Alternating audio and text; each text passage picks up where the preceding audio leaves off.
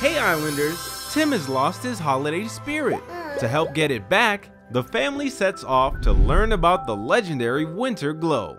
According to legend, the Winter Glow gives everyone who sees it joy, the desire to celebrate, to be with loved ones, and to exchange gifts. And it only appears during the Winter Festival. The family sets off on their journey and is surprised that the City of Joy is empty. All preparations for the festival have been halted.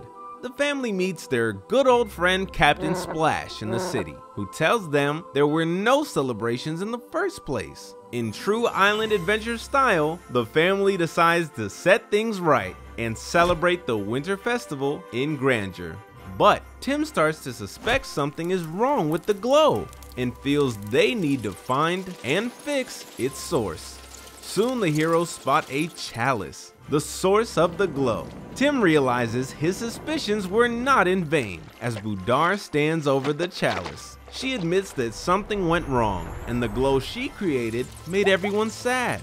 The heroes hold a celebration for Budar and her friends, extinguishing the false glow and allowing the true glow to shine.